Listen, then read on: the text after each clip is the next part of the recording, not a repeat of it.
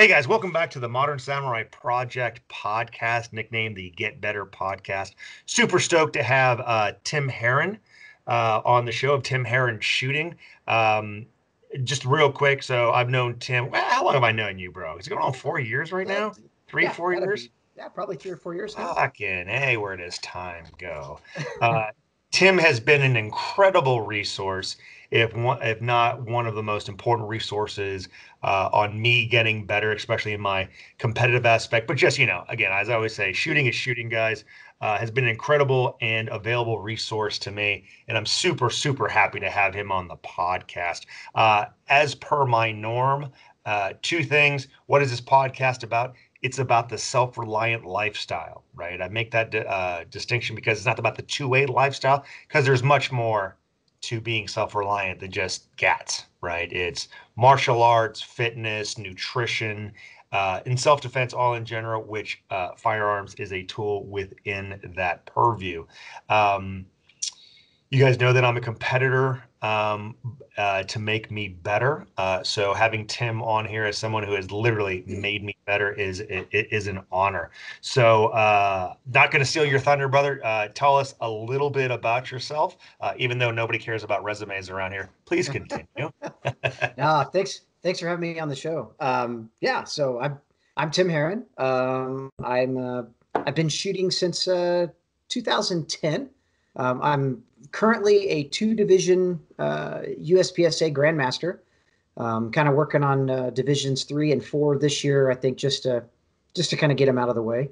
Um, and my kind of my mo as far as a as a shooter isn't necessarily just like obviously I started in competition. I love competition. I love USPSA. I, like for me, that the journey of shooting has honestly kind of just it's it's over overtaken just the the love of competition. Like it's I look at I look at handgun shooting kind of the same way a lot of people look at martial arts. You know, it's Mhm. it's a lifelong journey uh, of that you're never the best at what you can be at it. You know, like there's, there's always another level to go to. Um, I, I've I've kind of dipped my toe into the instructor arena for about the about past three years or so. Um, made a pretty good solid run at it in 20, uh, 2008 leadership, and uh, have now kind of turned my attention to to kind of making that full leap into the uh, instructor arena. Um, I love teaching. I love seeing other guys like have those aha moments. Um, you know, where just things come together. They start to see progress under their own terms. You know, and and me being that guy that just maybe is helps them as the catalyst to to what it takes to get better.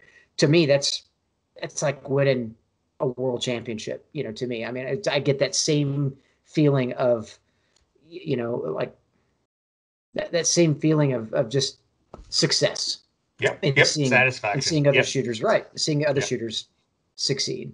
Yeah. So uh, so the story, you know, when when you came down here, and it was an extreme honor, uh, although probably not worthy of myself to AI for you when you were down here. And um, I often say in my classes, I judge the success of the class not so much on how many people are in there, but how people get better, and more importantly, what I like to call the O face. Right. So when you teach somebody something, right, uh, and it provides a mechanical advantage and they get better on the spot, right. and then you just see that, oh shit, you know what I mean? Right. And uh, you know, there was one individual that uh, you know I've known for a very long time, good dude, uh, critical of many things. So impressing him is very hard. I'm not gonna I'm not gonna mention his name when he hears this. He'll know who I'm talking about. But he was just blown away by your by your class, and it was just a constant O face. You know what I mean? It was like Yeah. Ebenezer Scrooge finding the magic of Christmas during that class, right? And I could see you just, you know, we, I mean, it was cold and we were all bundled up, man, but I could see the goosebumps, you know, uh, Oh, on the yeah. back of your neck up there. And, and that was, and that stoked me, man, you know, um, as instructors, hey, we're doing it for money, but, uh, making people better is really what it's about. And Right. if you're an instructor out there and it's not about making people better and you don't give a shit, give it up. Give it up. Anyway, it's my podcast. I can rant if I want to. Not about me. It's about you. so, so, so let's talk a little bit about you know. Um, if, so we're not going to go over your entire background, right? Because you have a a, a bevy of other podcasts out there, whether it be um, uh, Firearms Nation, uh, Ballistic Radio, uh, a whole bunch of them out there that that people absolutely need need to go listen to. But the main point I want to take out of there is, is let's go over a couple things, right? You are a, a grandmaster, right, in both uh, single stack and limited, correct? yes. And limited, and uh, the other two divisions you're going for are carry optics. Uh, I'm hoping to do carry optics this year, and I'll probably do production. And, And then production. And then if I can fit in, like, it's sad to say, if I could fit in limited 10 just because I'm so close already, you know, I, I never shoot that division. That division really doesn't matter for anything, but man, it's just, it's another notch on the belt. So Well, again, what's the difference between the equipment difference between single not a stack, thing. limited? Not a thing. Not a thing. You can you can put your appendix more. You can put your holster more appendix if you want to. But, but other than Right. that, what's the what's what's the difference, right? So you have been a grandmaster in USPSA for how long? Uh, I made, I achieved Grandmaster in early 2014 Okay, and you have been shooting since from the time you picked up a gun. Since how long? since 2010, February, February 10th of 2010. So one of the things that I always tell people about uh, you in general, your instruction, your advice is you are not that far removed from being a complete know nothing noob. You're exactly Right. right. And the level of progression that you have to the, I mean, to the highest level in the sport. I mean, you were seventh in single stack nationals, right? Yeah. And you're shooting with guys like the great one Leatham, Yep. uh, the other great one Todd Jarrett, Yep. um, and you got seventh in the entire country. So let people let's talk about that. That is the one percent of the one percent of the one percent of the one percent shooting God's gun. Yep. Fathom that since 2010 is the Since first time you picked one up. So one of the things I rem- I say about people is like uh, Tim has a um, a great way of relating information to any skill level because he remembers when he sucked. I do.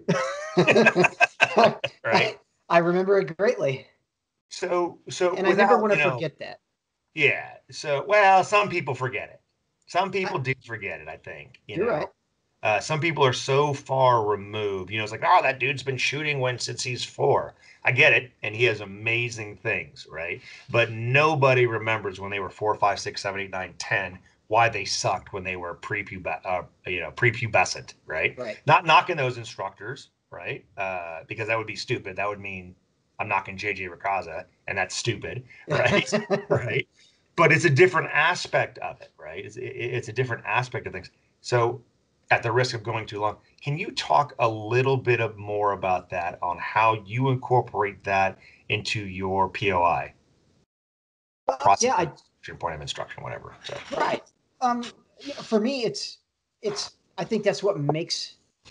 I think that's what makes me relatable, is that you know I wasn't one of these like these phenoms that picked up a gun, you know, at any age, and we all we all know four or five of those shooters now that are great instructors. But you know, they're just like, "Ah, I picked up a gun, I started practicing, for, and in, in six months, I made GM. You know, it's like, okay, that's awesome, but I don't think, I think they missed out maybe on a little bit of of themselves as far as like that ultimate journey. You know, Mhm. like you know, I I think a lot of those instructors when they get a student in class, it's just like, okay, how did you overcome that? And you know, sometimes the teacher is like, well, I just did. Well, what the hell is I just did? You know, like how? And it may be because it was something that they didn't ever spend any amount, like any any amount of time on trying to overcome. Um, you know, I think a lot of those guys too uh, might have picked up a gun. They might have been maybe financially in a little bit better situation where they could just they really could put in the work at the expense of you know time away from a job or maybe they were you know in their early 20s and didn't have two kids that they were raising on their own or you know a full-time mm-hmm. job and you know other obligations as far as just you know, life happens you know? And for me i think that's that's what i'm hoping that's what makes me more relatable to the average person that comes and takes a class is you know they've they've they're building a foundation or they're learning you know this this or stepping into this journey but they're also you know they got to to keep a wife happy. They've got to keep a job happy. You know they maybe don't get to go travel you know 37 weekends a year to different matches and and training classes and things. You know, they've got kids at home and things else they got to do. You know and it's to those people i say been there done that you know? Like i i did this taking the exact same journey that you're about to embark on you know? And i'm here to tell you as walking talking living proof it can happen you know? Like if you aspire to be a grandmaster in uspsa dude i'm not extraordinary you know there, there's nothing i do with a gun that wasn't was one of those things i just picked up and just did it. You know it took a lot of dedication. It took a lot of work. It took a lot of self-reflection and self-diagnosis to get there. And it took a lot of help. It took mm-hmm. a lot of help from peers and other instructors and you know i mean just reaching out and not being afraid to take criticism to take instruction to take advice you know um, from from everybody you know and you kind of learn to like okay that stuff works and oh, what that guy's saying yeah that that doesn't sound all you know you have, like you learn to pick out the good stuff from the bad. I mean mm-hmm. given given enough time and it doesn't take a ton of time for that kind of you know to know like when somebody's full of shit or when somebody's steering you the right direction it's a firearms industry, right? We, yeah, uh, you know, deciphering oh, yeah. who's full of shit and who's really worth something is is uh is the magic key there. So let's so let's talk about that again. You know, there there are many people that were blessed growing up, and at the risk of sounding like you know you were born with a silver spoon in your mouth, there's some people that were. You know, there are some people whose whose parents were really into shooting and they kind of uh, you know helped their kids out or whatever or they had just they had the the the um the optimal situation in oh, absolutely and, and god bless them for it right god bless them for it but so how does a guy who wants to get to the top 16 at nationals. And just for for those of you that don't compete, you know, the way they used to have the matches and stuff like that, the top 16 in any division is kind of uh you made it. You, right. you made it, right? Uh, and I won't get into why that is. You know, just just trust me uh, on that. Um, so if there's a person who happens to be an auto mechanic with kids and a mortgage and responsibilities, how does he ever think that he's going to wind up on the super squad with Rob Leatham, who has been the GOAT for decades and decades and decades. What, what, what do you what do you tell that guy when he's ready to like well I'm that's what I want to do but I'm just gonna give up because I don't you know have and that's what, that's just it. That, that you got to tell him man. I mean there's a level of commitment that you've got to just you have to engross yourself in.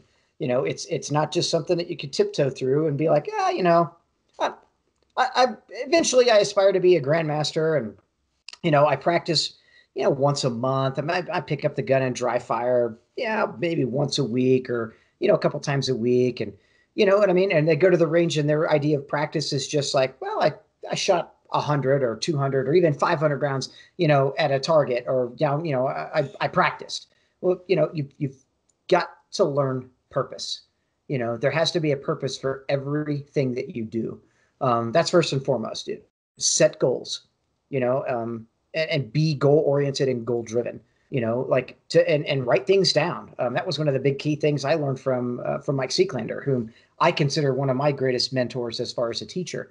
Um, you know, Mike was probably you know one of the most instrumental people in me in getting past a lot of my plateaus and breaking my own barriers and a lot of it just had to do with the, like learning how to practice you know, the fact that you're just going to the range and you're just shooting at a target or shooting at multiple targets and just expending rounds down range for the sake of shooting isn't practice. Mm-hmm. You know, you're not going to get better without some sort of focus, determination, driving goals.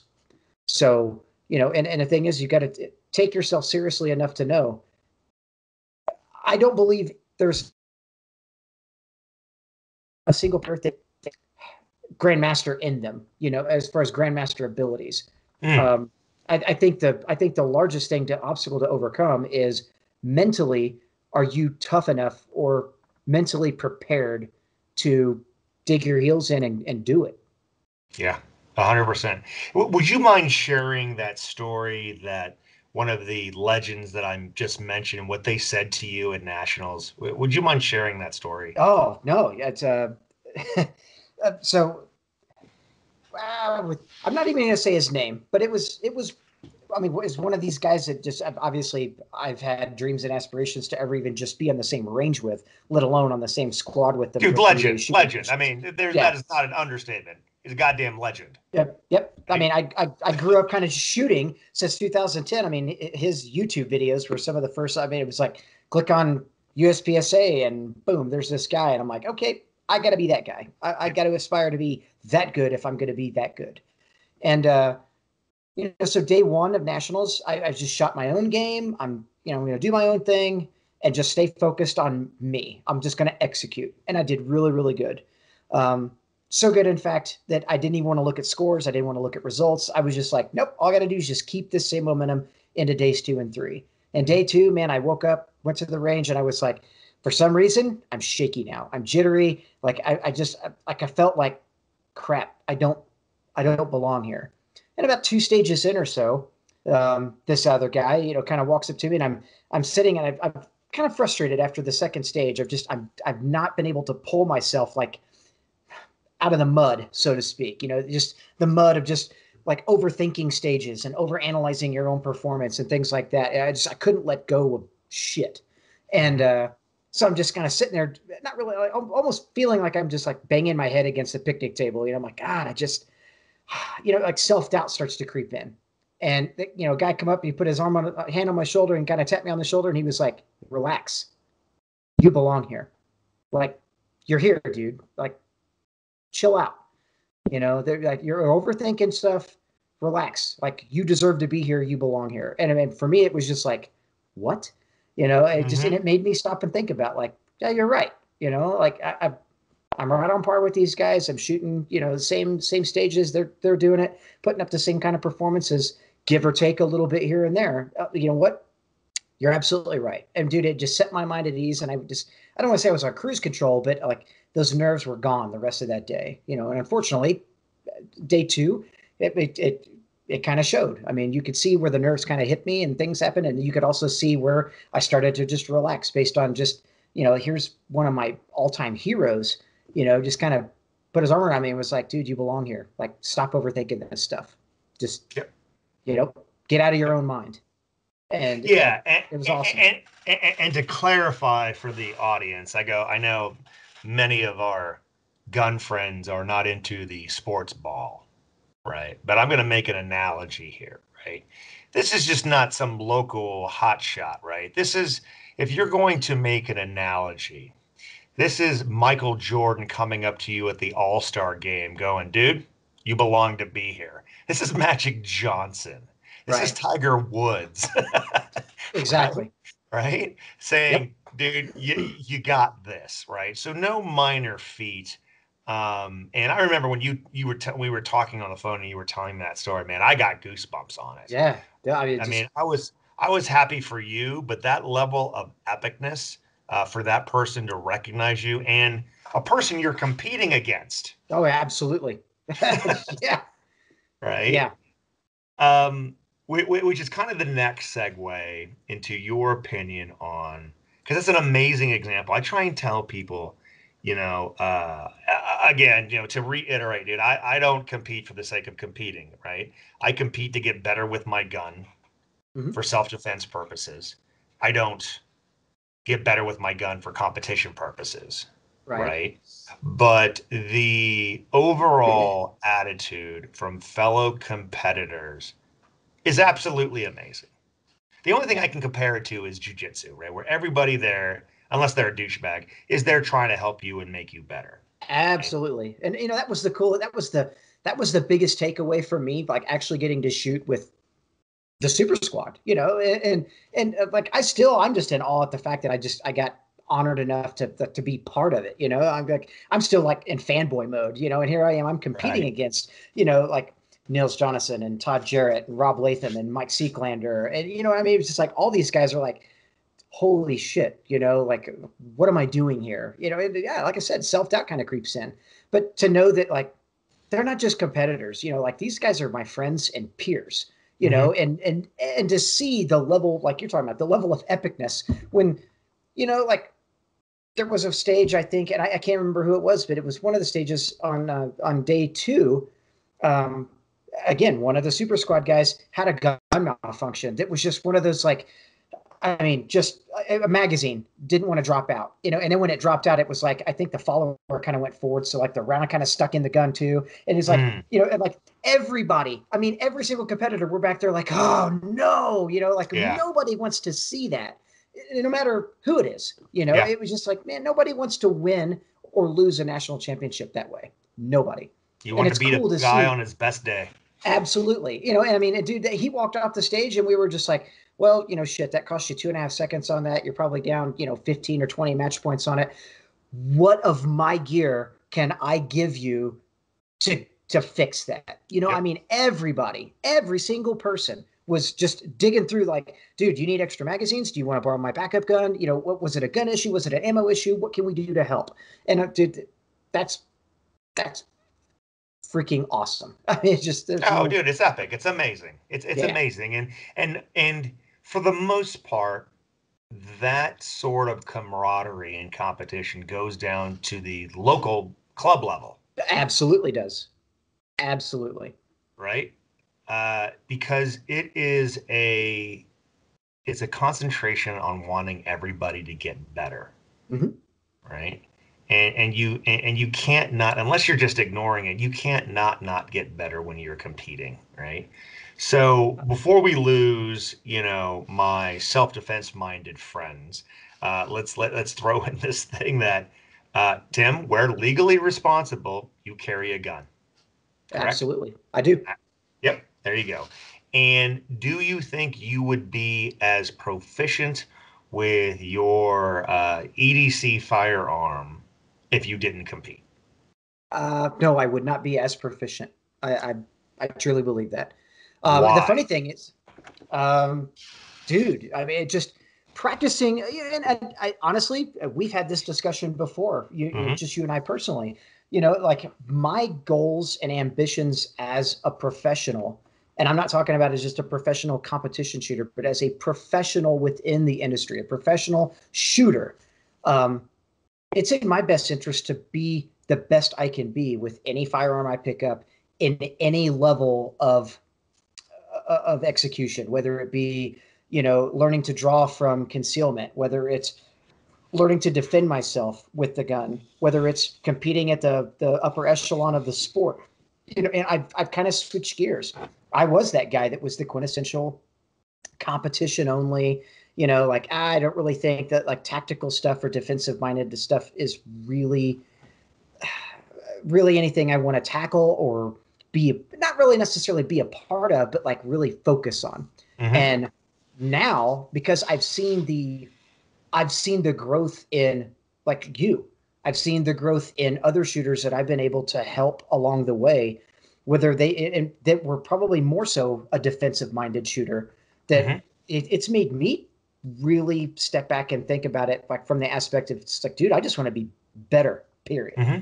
like i don't mm-hmm. care if it's picking up a double action single action beretta or whether it's drawing a, a an armored block from concealment or whether it's shooting a you know a, a high you know a, a, competition 1911 for you know for just like i just want to be the best i can be with whatever you put in my hands you know in whatever realm whether it be defensive or or whatnot. You know, now obviously that being said, I know my lane mm-hmm. and I know to stay in my lane, but my lane has has definitely widened up to where it's not just competition focused.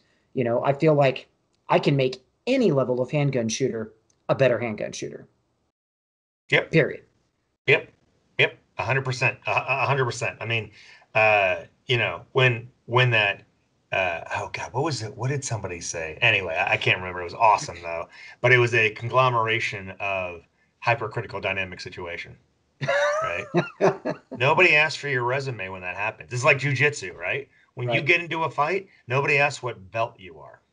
Exactly. Right. So somebody that can uh, stand and deliver a bill drill from concealment in, in sub two, nobody cares about your resume. Right. Certainly, the guy on the on the receiving end doesn't care. Yep. You know, and if the methodology in getting to that efficient level of performance, if the path was CAG, awesome. Right. If the path was USPSA, at the end of the day, it's you know, uh, it shooting matters, is shooting, right? Shooting is shooting. Yep. So let's talk about something that, um, and I don't know if I got this from you. I probably did, dude. Sometimes it just melds into things, right? But, um, you know, I remember when looking back, and, and I think the first time I heard was actually jujitsu, right? Um, but I think you beating this into my head uh, has been an epic uh, change in me. I'm saying epic too much, but you know, uh, an epiphany in me. Talk a little bit about why focusing on the process is the path to success, while focusing on the result is the path to ruin. Uh, absolutely. Um, I think focusing on the result, uh, it, it does it. It's it's it's self defeating because you're not allowing yourself to like just to step like to step outside yourself and just be the observer of a particular process that you want to accomplish. Um, you know, it, it, just it's the same with anything. You know, like whether you're a you know a, a star marathon runner or you know a, triathlete or a swimmer or you know a basketball player. I mean, if you if you step on the court or you know step onto the the playing field of anything, you know, with just this like, okay, I have to I have to win. You know, it, it's not it's it's not having the will to win that's the problem. It's it's having the expectation like putting the cart in front of the horse. Mm-hmm. You know, it's having the expectation that something is I'm going to make something happen instead of being just of the of the mindset that I'm going to win and this is how I'm going to win. I'm going to win based on minding my process. And my process in the realm of shooting is grip the gun, manage the sights, press the trigger, while managing the sights, and that's it. That's our process for every single shot fired. The, mm-hmm. the, the process is never changing. It's it's the same. You know, so the difference between like achieving success or epically failing at it is, I think, it just in that mindset of but if I want to make the gun go off right now, then I'm I'm I'm looking for or I'm mindful of a result and not the process to get that result. Like the result is a byproduct of just mining the uh, mining the process. When I want to win a match?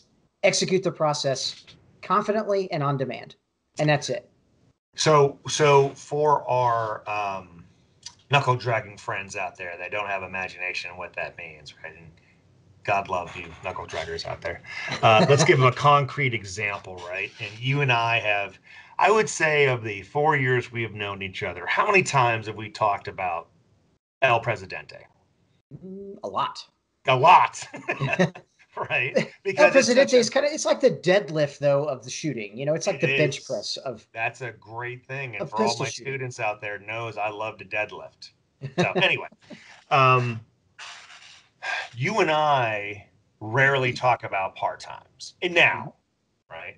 Right. We talk about breaking everything down to the minutia mm-hmm. and step to that. For example, right, uh, the setup, right, where your toes touch the box, where you put your hands, how you turn, when you turn, what you see, yada yada yada, right?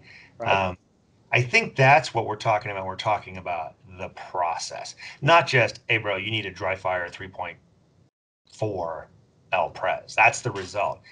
You never get there. And if you get there, you don't know how you got there. It's an accident. Right.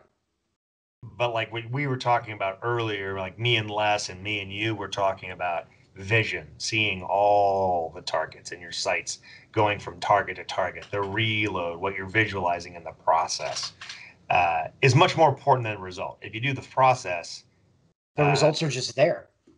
they're there they're there and, and by focusing on the process you are skipping you know the entire uh, beauty of the process you Absolutely. know? and then you start w- trying rushing hurrying worrying about that and all you care about is getting to the end Mhm. right so Here's, and so like here's here's a great way to to to to kind of talk about that or to put it in into into terms that I think a lot of our listeners will probably understand is let's say uh, fast drill. You know, Mhm. you're known because you won what fast coin number 15? yep Yep.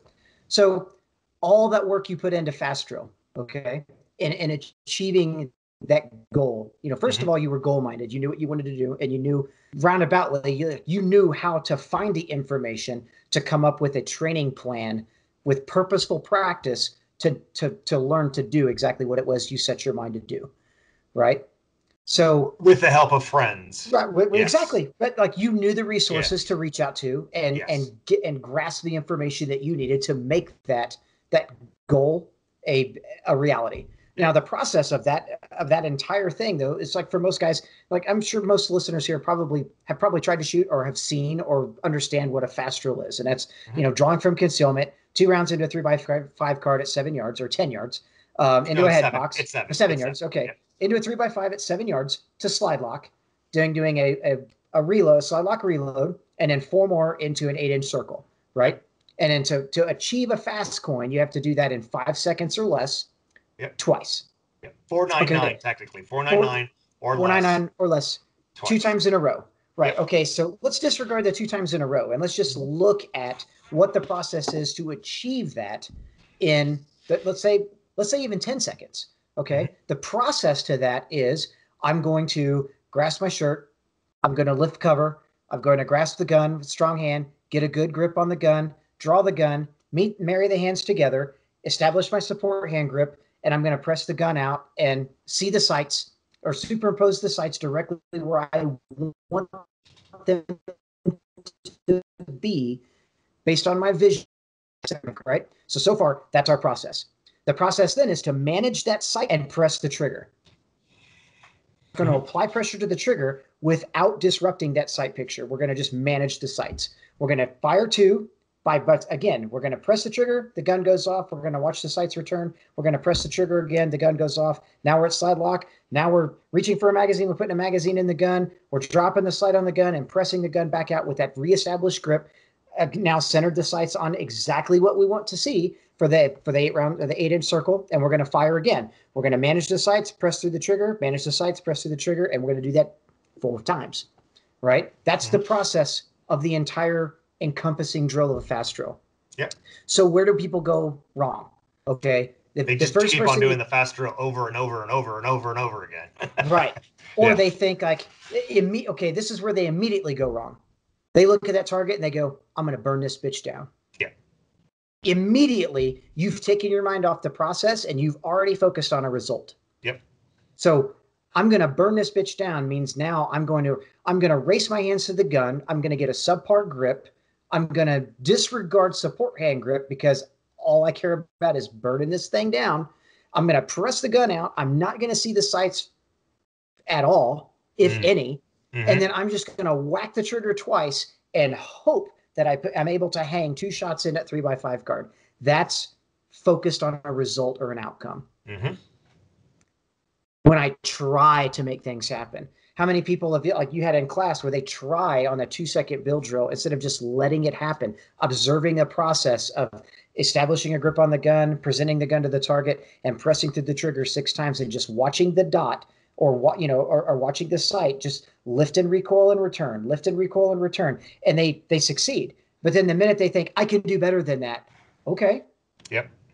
Immediately i can do better or i'm going to burn this down for the next time means they've already lost the process they're already focused on results and then what happens they end up with four or five really good shots and one that's you know that's a hanger in like the low c or a high bravo even you know and they're like oh, what happened well, actually, when they when they when they go super Ricky Bobby, what winds up happening is that they have the slowest draw they've ever had. and then they're just they've got all this shit out of the trigger. tension. Yep, Right. they get all this tension. They yank the trigger, or trigger freeze just takes completely over Absolutely. and they wind up shooting five shots. Uh, yep, yep. Or it's one, two, three, four, five, six. Yeah, Yep, exactly. And it's Yep. and that's that is let it that that is not letting go of results and staying process driven. Right there in a nutshell. I've just explained to you what process means and what results get you. When Yep. you think about results, that's what happens. You get tense, you miss the grip on the draw. You know, how how often have you had a student be like, "Oh shit, I missed the grip on that." Well, why? Why'd you miss the grip on that? Most of the time, they can't tell you immediately. They Right. go, "Oh, I don't know." Well, well, why did you try to shoot with a bad grip? Why didn't you correct that shit and get back on the process? You know? Yeah, and, And and, here's here's even a successful uh, result from a student I had this past Georgia. Right? Again, I won't mention his name because you know he. Uh, so part of my standards at 25 yards on an A zone from concealment, a 1.5 to an A zone hit in 1.5 seconds at 25 yards. Right. So that's one of my things. So as we're doing that, right, uh, the guy very cool had a, a zone size steel. Right. So I work through people doing it. We get that immediate feedback of the ding and stuff, and and they go, and then we play King of the Hill, right?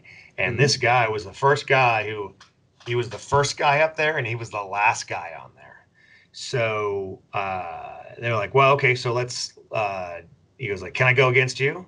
I'm like, sure, let's do this, right? So he actually beat me. I have Good for him. That's awesome. Good for him. I've got no problems with that. You know why I have no problems with that? A, I was cold, don't care. I did a 151, completely cold. He did a 143. Mhm. So he's super excited, right? That he blah blah blah, and he's like, "Oh my god, that was amazing! Everything just came together." I go, "I need you to define that for everybody. Exactly. What came together? Define the process." He goes, "I have no idea. I have no idea." And dude, that hurt my heart, He man. sub- it hurt my heart. And I'm Right. like, I'm like, look, dude. So I always tell this jujitsu story, right? Two guys rolling, one guy submits the other.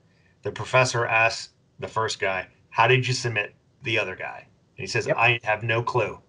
And then- and the uh, professor goes, "You lost." He asks the other guy, "How did you get submitted?" I didn't shrimp at the proper time. I didn't get the proper frame. I didn't get my leg back to retain the guard. That's how I got submitted. And the professor goes, Yep. You won.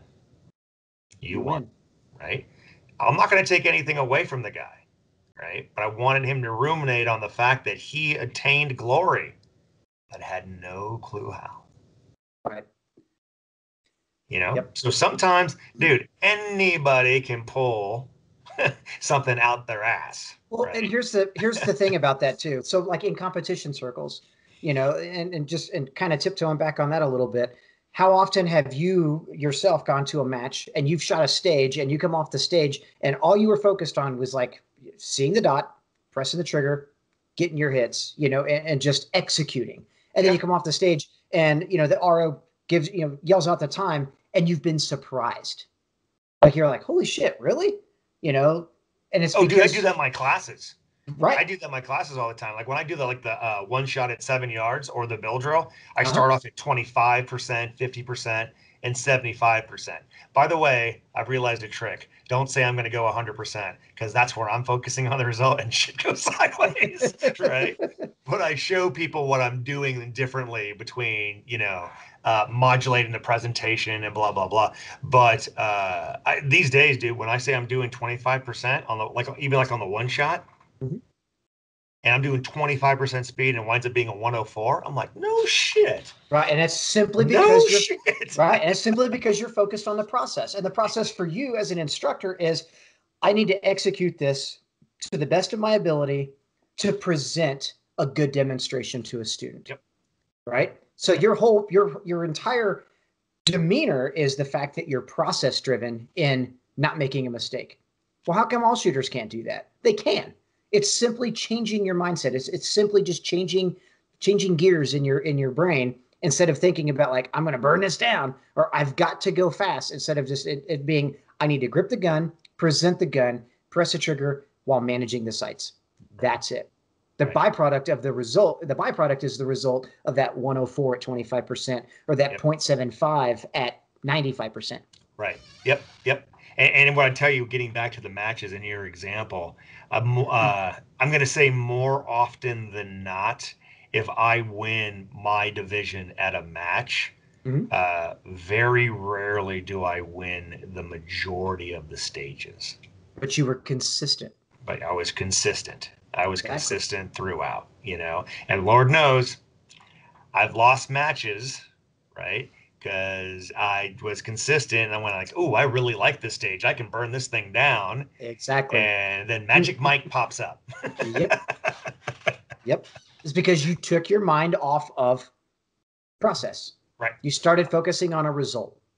Yep. You know, and like I said, whether that's a one shot drill, a six round bill drill, a fast drill, an entire USPSA stage, an entire USPSA match your mindset in a practice session. It doesn't have to be just a single drill. It's just how it's it's shifting gears in your mind to think about I'm going to learn from this experience and the results will prosper from the process. That's it. Yep.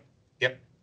So let's get back to more uh, self-defense minded things and the and the uh, crossovers between competition, what you shoot in competition, and what you carry every day. Uh, and it's cool to. I mean, you put it on Facebook and the gram of what you carry every day. So I don't think it's a personal violation. If it is, let me know. We'll just edit this bad boy out. Yeah. But so you so you compete with a Atlas custom custom custom custom custom. Yep. 1911 single stack 1911. 1911 built directly to my specs. Exactly what I wanted. So beautiful gun. Yep. Beautiful gun. You also load your own ammunition, right? So, in, in all fairness, you are sponsored by Atlas, right? Uh, sponsored by Atlas. I'm also sponsored by Federal Premium Ammunition. Correct. Absolutely, right? And you you load all your own ammo. Yep. Right. I I, I use all their components and load it to my specs. So we're going to talk about the transition to what you carry every day, which is a uh, CZ P10C, correct? I, I have a CZ P10C, or I, uh-huh. I I don't I don't even I'd love to admit um, a J frame, a Smith and Wesson model uh, M&P 340 J frame. Yeah, absolutely. Dude, this thing. Talk about it. practicing uh, for the internet. for the internet, it's clear. It's clear. It's clear. All right, you fucking Nazis. Anyway, um, amazing trigger control practice. Absolutely. Amazing trigger control practice. So okay, so back on back on point, and you load your own ammo, and according to some of oh. our friends, it's not real man ammo. for competition, yes. For for for major power factor and single stack, like it's I'm not that far under what box stock 45 ammunition is. When I mean I load my own ammo, I have I still have to achieve a power factor, and that yep. power factor for me um, is 165 is pretty low, and that's that's the floor for yeah. major. Nobody shoots 165 power factor. Yeah, because you, you, give up accuracy, you give up velocity, you give Correct. up all that shit. So anyway, Correct. I just want to say that for our but our yeah. internet friends out there, the competition guys and their powder puff loads. Yeah, I don't shoot powder puff loads. I yeah. shoot just about. I mean, it's it's just a tick under what uh, you know 800 820 feet per second. You know, 45 ACP factory ammo is. You know, my stuff's going across the chrono at about 780. You know, something like 175, 176 power factor. I mean, like I said, it's it's pretty stout, it, uh, but it, it, has to be able to cycle the gun, and I want the stuff as reliable as possible. So when you know the advantage for me loading my own ammo for competition only, mind you, is I want to be able to achieve the level of accuracy, you know, or, to maximize the level of accuracy out of an already accurate platform in the gun. You know, and you can't do that just shooting subpar, you know, kind of box stock ammo. And not that federal premium ammunition is box is subpar. What I'm saying is there are a lot of brands out there that are, and you're not maximizing the ammunition to the gun. Right. You know, versus 100%. versus a, a, a great hand loaded round. So, but so like when for, you when you practice with your carry gun, though, uh-huh. right? It's a it's an absolute travesty, right? You're an absolute scrub because you shoot these gamer guns. and so no, I'm kidding. Yeah, so let's no, let's talk about your practice with your carry gun, right? Because I'm assuming that you practice with your carry gun. Uh, What's it, it, I mean, is there a transition? Is truly shooting shooting? Uh, what do you do when you practice with your carry gun, and why do you? Why do you uh, practice with it? I, I practice on it because I want to be just as proficient with it as I am with with my uh, with my competition gun. So you know, I as I probably don't dry fire as much. Um, you know, obviously because competition is kind of like, like yeah, winning matches is kind of what sets me apart and, and kind of helps build my business as a as an instructor right mm-hmm. so i mean that obviously takes precedence over anything else but as far as like my everyday carry like i still strap on you know the uh the appendix holster and i i i do at least a 15 to 20 minute uh, dry fire session three times a week or so with my uh, my everyday carry gun you know i want to know what what it's like to index my strong hand to the gun. I want to know what it's like to to have to clear a cover garment. I want to know what it's like to draw that gun and establish a good support hand grip and see the sights at the exact same you know times or try to match the same times that I do with my competition rig. Um, as far as manipulating the gun, dude, you know, uh, to me, I, I've kind of gotten beyond just the nuances of like oh, a super fine competition trigger and an everyday carry trigger. You know, like to me, it's grip the hell out of the gun and press the trigger while managing the sights. Mm-hmm. That's it. You know, I don't care if I'm pulling a, an eight pound trigger or if I'm pulling a one and three quarter pound competition trigger. It's it the same, you know, the, the, the same fundamentals. A mastery of those fundamentals applies. You can't you can't cheat one or the other. So Yep. You know, and, and it's but I, I do a lot of the same kind of drills, you know, so like multiple target transitions with the with my everyday carry gun. I want to be able to know that I'm still leading the sights with my eyes. I'm I'm seeing things before just presenting the gun to them. Mm-hmm. Um, you know, and then I'm focused on that same process too, even in dry fire. You know, I'm focused on managing the sights. And I know a lot of guys talk about like, ah, trigger control. Trigger control to me is secondary to sight management you know like if i if i'm gripping the gun well enough that i can press the trigger with any basically with any level of fluidity or aggressiveness as possible and just keeping the sights managed the sight picture the same you know managing that sight picture is much more important because you know the, the type of trigger pull you have is always going to differ depending on target presentation difficulty of the shot distance you mm-hmm. know so I'd like my like I said, and that's again that's that's overcoming that thinking about a result and just minding the process, just observing. And for me, it's right. So so interesting. Interesting enough, you are uh, on a show recently that I was just on, right? And I won't give away the details because it hasn't aired yet. And that person had asked me about your concept of managing the sights being more important than anything else.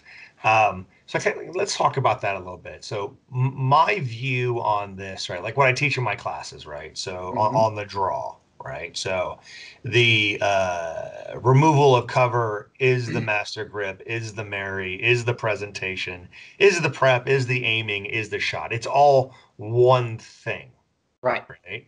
Uh, would you agree with that? I mean, uh, in, in that, like the managing of the sights is not more important, ergo divorced of trigger press, grip, marry, presentation. It's all the same thing.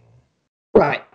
It's all encompassing, but I think a lot of times people get so hung up on the the minutia mm-hmm. that they they forget what the overall picture is. The overall mm. picture is, dude, I can have the best trigger control in the world, but if I'm not managing the sight picture that I want to have on it, that shot's still going to be errant, mm-hmm. right? And when I really want to start picking up the trigger faster, or I want to shoot faster, or I want to, you know, like repetitious shots, you know, sooner, not faster, but sooner, mm-hmm. I mm-hmm. have to be able to have a level of grip on the gun to manage the sight picture better so that when I start aggressively pressing the trigger harder and harder and faster and faster until I'm basically slapping that thing, like the, the ultimate goal is to still keep the sights managed to the level that you're watching the sights lift and recoil, but you're not seeing the sights move or, or, or deter themselves from what you had originally have them pointed at or aimed at. So I think so many people get hung up on like, okay, the, I'm pressing the trigger and there's the wall of the trigger, and now I've got to add some more pressure and make the gun go bang right now. They're focused on that one tiny little bit of minutia on the overall process, and then they become results driven. They become results, you know, result focused on making mm-hmm. the gun go off right now. And mm-hmm. what do you mm-hmm. think happens when they make the gun go off right now? They end up jerking, and right. They're not managing the sights. If I just that's anticipation, just, bro. They're afraid of the bang. Right. But if, if I just tell somebody just manage the sights, manage yeah. the sights and apply pressure to the trigger however you want, but your only goal is to keep the sights in the same spot throughout the entire process, what do you think happens? They generally succeed immediately. Yep. Yep. 100%. 100%. So so why would a person who maybe they don't have access to competition, uh, they are self-defense minded, why should they take your class? um, to get better. I mean, uh, period. You know, it's like I said. now, the the the the, uh, the class itself is a little more competition centric. You know, uh, somewhat a little more. It is very competition centric. You know, like I I start students, you know, on day one with let's shoot a 28 to 32 round field course. But for me as a as an instructor, it gives me an opportunity to analyze the student everything, their muzzle awareness, what their their trigger finger is doing you know as far as like just their gun handling and gun safety awareness so it really doesn't it isn't so much about competition level types of stuff as much mm-hmm. as is are they are they good safe gun handlers do they have any absolutely glaring problems or just you know or deficiencies in how they handle themselves with a firearm whether it's moving and shooting whether it's you know shooting multiple targets whether it's seeing what you know whether they're overlooking the sights and just watching holes appear on targets or whether they're actually seeing you know a, a semblance of a sight picture how are they you know how are they doing the reloads? It, it gives me an opportunity to to kind of notate glaring deficiencies in their game.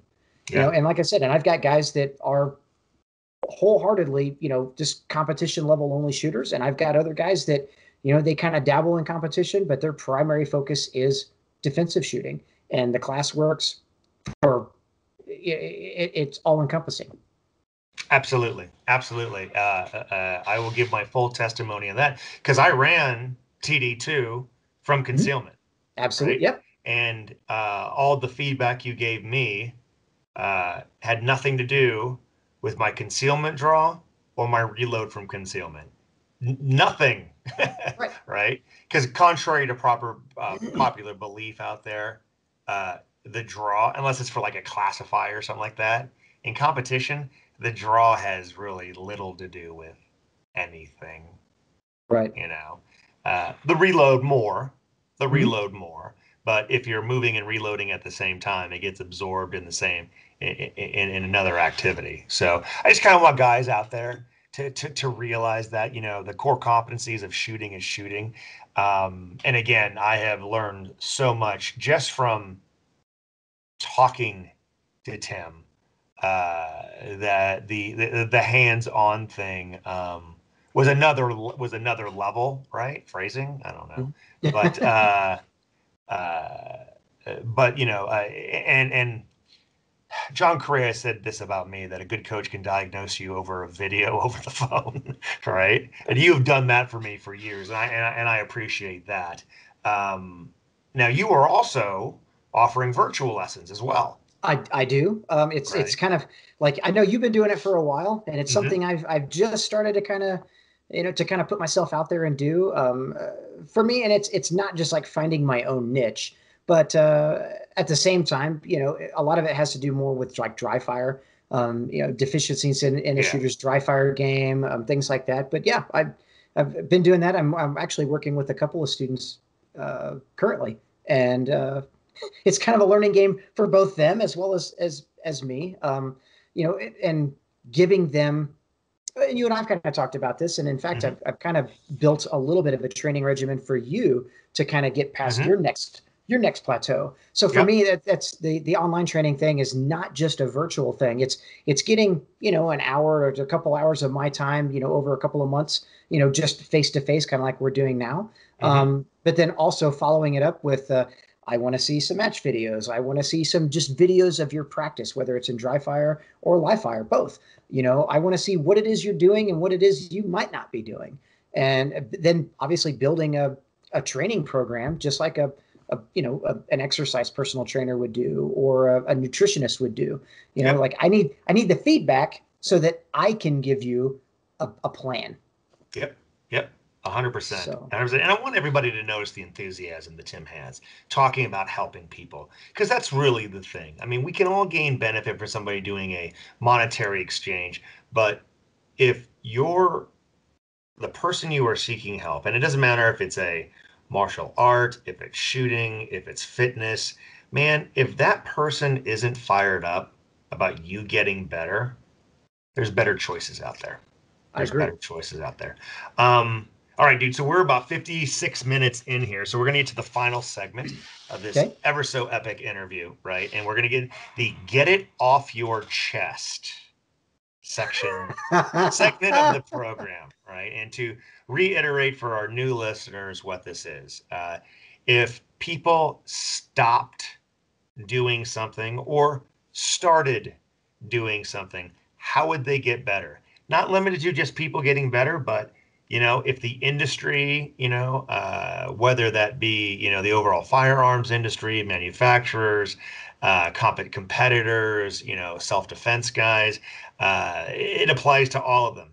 Nobody cares about your neighbors playing music late at night, right? We don't care about that, right? But right. what is it that you would like to get off your chest? And it doesn't have to be a single thing, man. The floor got, is yours. I've got a couple. Okay, um, awesome. So for me, firstly, stop stop with the fucking polarization of the industry itself as far as shooters. So what I mm. mean by that is defensive minded or tactical minded shooters versus competition shooters. You know, and, and this comes from from a personal experience of being absolutely freaking crucified by uh by by some of the the Camden, Tennessee clan of uh, of followers of a certain instructor, mm. um, who I will keep uh, nameless at this point in time. That, oh, well, you know, dude, that think, knows you're talking yeah, about. You said Camden, Tennessee. Yeah. but that, that thinks that mindset trumps anything and everything else, and I think you know like that. That is allowing your ego to get in the way of getting better with a firearm. Like I think skill is absolutely just important as mindset. Like you can't have one without the other. You know, you can't be overly skilled and not have the mindset and succeed, whether it be in a gunfight or defensive situation or in competition. Just like you can't just have a mindset and 100% succeed in those same, you know, in that same realm.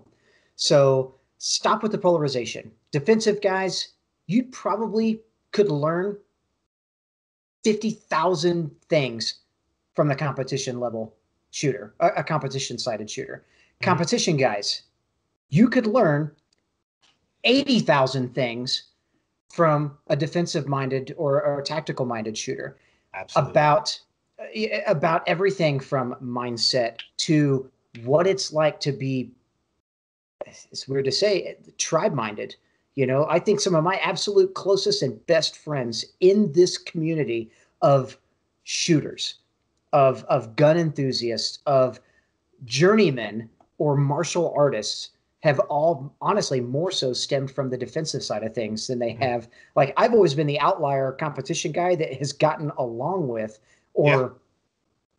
Or you know uh, gotten along with the, the, tactical minded people and I've really had to fight my way in to be uh, to, to to kind of prove relevancy there.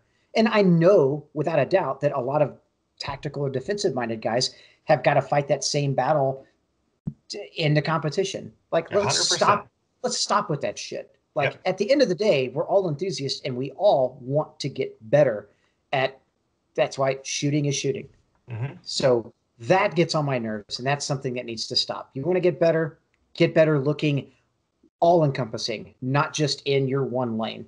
Like I've learned more from I've learned a lot from my defensive minded guys over the last two years, which is, like I said, has completely changed my mindset over just competition rules and defensive guys don't.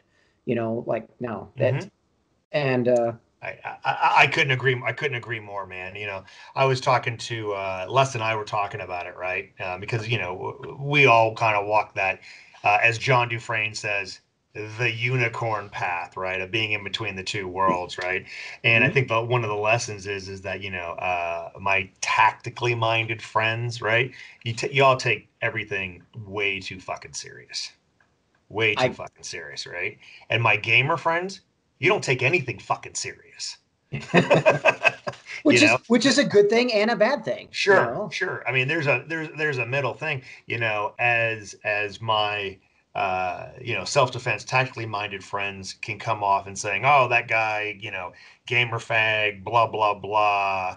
It's like, but dude, you can't shoot faster than a forty fucking split. Shut up, right? Right. right.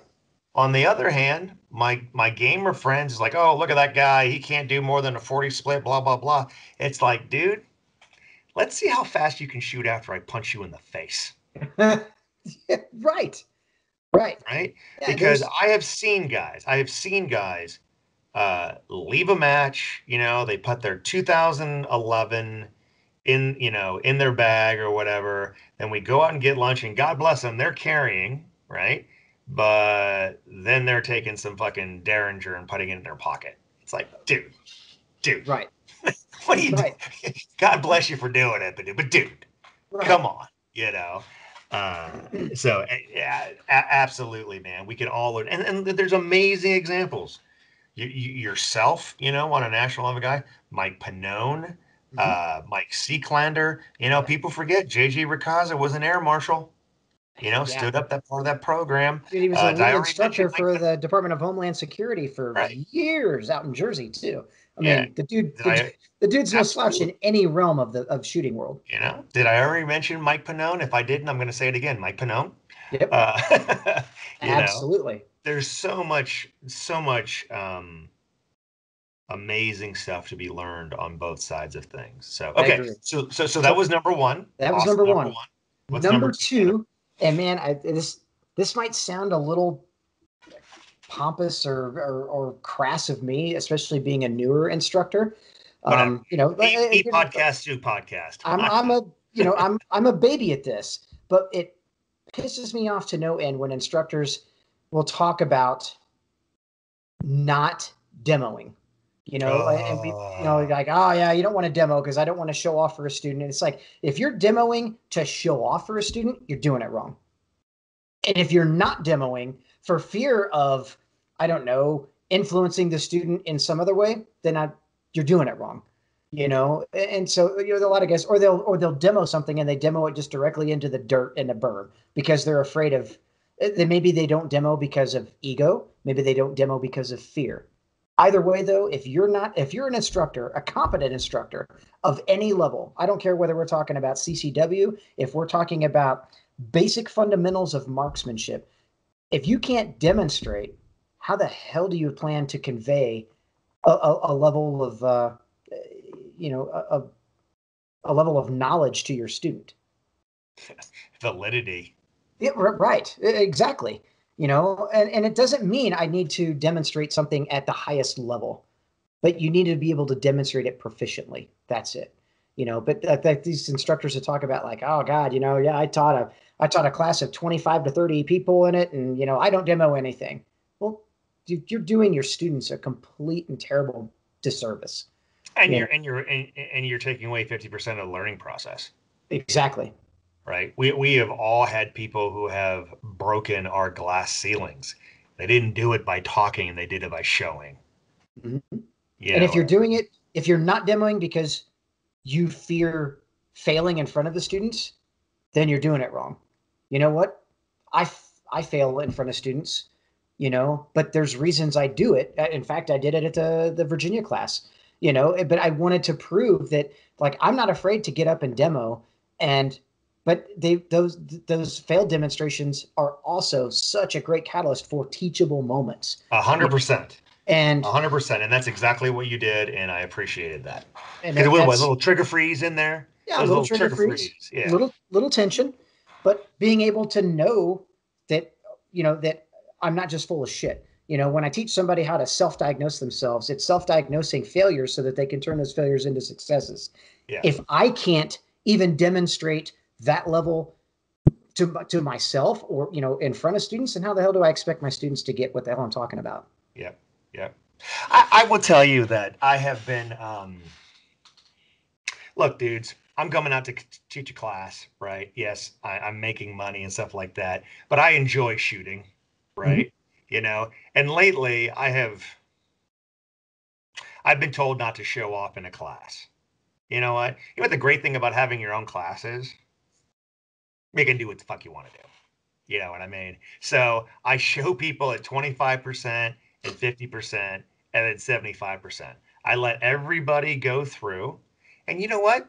I have more fun because I go, hey guys, you want to see what I can do if I push it a little bit?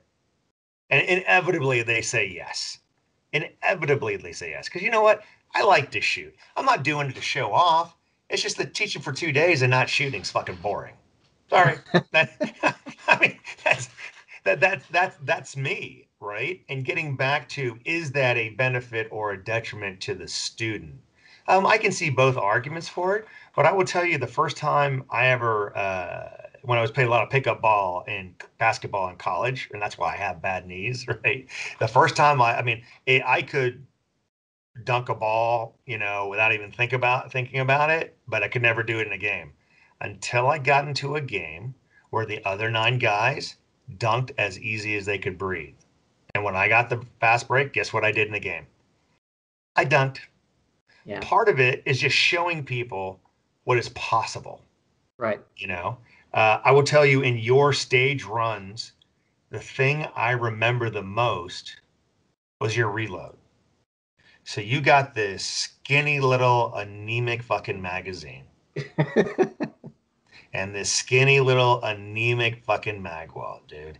And that thing literally, uh, you tapped the magazine and it teleported into your gun.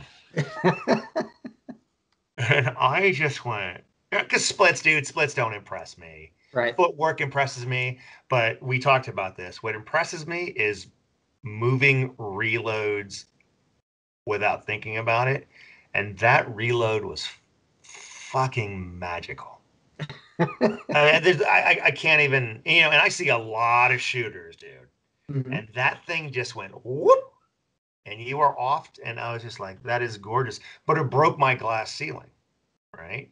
Right. So if you're just demoing to a level of proficiency and not showing people the levels of what is uh, achievable, I think maybe you do them a disservice. Right. I think, well, no, I think disservice. When I mean when I mean demoing you, to a level mean of proficiency, Right. Yeah. What I mean by demoing to your level of proficiency is demoing to your level of proficiency. Yeah. You know, it, it's not about just like, well, let me do this very, very slow. Yes, I, I agree. Demonstrating slowly to show technique or a certain mm-hmm. skill, right? But demoing to your level of proficiency. And if that means my level of proficiency is, uh, you know, a 0.69 draw to an A zone hit at a seven yard target, that's my level of proficiency. Guess what? It's probably going to happen. But at the same time, don't as an instructor like a, a, my kind of my word of wisdom to anybody that might be listening and including you is don't get wrapped around the axle if a student does beat you or succeed oh yeah or better that's what we're supposed to be like, doing. that's exactly right. I want every student in my class from the unclassified brand new shooter to you know i've i've taught like top 10 top 16 grandmaster level shooters dude i want you to beat me like my, my ultimate goal is to instill upon you the skills and techniques to make you as successful or hopefully more successful than I am. Yep. You know, and that's that's what makes me passionate about it is yeah. just seeing people get it. Yep. A hundred percent, man. A- a- a- absolutely, absolutely. Those are some great get it off your chest, my friend. I dig it. I dig Thank it. Thank you. I do dig it, man. So cool. All right. So uh, we're gonna wrap it up here. Tim, how, how, can they how can they find you? What's your website, IG, all these wonderful things, so people can uh, bask in the glory of your fucking awesomeness. so my website. so my website is uh, timherronshooting.com. Um, and it's it's kind of it's kind of new fold, but uh, it's got everything. It, it explains everything about my my classes that I offer, um, class curriculum for my my kind of my flagship two day class. Um, it's got my class schedule and how to contact me and all kinds of stuff in it. I mean, it's got a lot of good information. Um, uh, Tim Herron Shooting is also my Instagram uh, handle. Um, always looking to kind of increase a following there and, and kind of spread the spread the gospel of shooting and and and, and all things shooting. Uh, also, you know, food and bourbon and cigars, and you never know what you're going to find there. It's all kinds of good stuff. And then uh, you know, I'm I'm pretty. I'm I'm very active on uh, on social media as far as Facebook. I've got a couple of pages I manage there, uh, Tim Herron, and then also a Tim Herron Shooting Facebook page, as well as also have a YouTube channel. And it's lo and behold, again, surprise, surprise, it's Tim Herron Shooting. Mm. So and great uh, information, the, lots, lots, of free lots, milk on on all that. So so you can reach out to just about any single one of those social media outlets and uh, and get a hold of me. I, I try to make myself as available as possible to anybody and everybody. So yeah, don't don't think that you're just going to get lost in the shuffle. Um, you know, reach out to me, man. I I love to I love to talk shooting. I like to help. So, hundred percent, man. hundred percent. Um, yep. So uh, thanks for being on the show, Tim. Uh, I I cannot stress to people um, open your horizons, man. Get out there.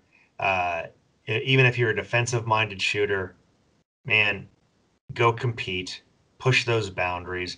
If you are just a competitive shooter and you really dig Tim and you have no interest in defensive shooting, why?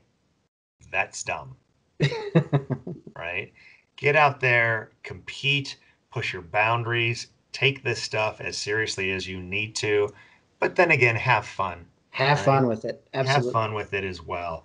Um, man, good stuff. Uh, so, uh, getting back to those things that pay the bills, guys. If you dug this episode, if you like my other episodes, please do me a favor, at least on the YouTubes, uh, subscribe, like, uh, and share it. Uh, you can find me on modernsamuraiproject.com. Hit the classes button if you'd like to take a class with me. Uh, I am getting now booked through, I think, going into October. Super blessed uh, in, in, that aspect. I also do virtual privates as well, you know, dry fire. Let me answer that question, right? It's dry fire kind of hard to track that shit in live fire with angles and stuff, right? right? All I need is you putting your thing at a three quarter in front of you and something bad going ha- and happening, right? But we can get a lot of good done work in dry fire. Um, if you're a host looking to uh, host me, 10 students is my minimum. If you got a range that can have uh, at least 10 targets, a couple pieces of steel, we can have a good time. Love to get you out there. Uh, for those police departments, I have developed and going to be implementing my red dot pistol instructor course. Uh, that's a two day course. Would love to talk to you about that. Uh, find me everywhere. Just put in Modern Samurai Project, Instagram, Google, Facebook, yada, yada, yada. Uh, sorry for the long commercial, but what's always the most important be good, stay safe, get training.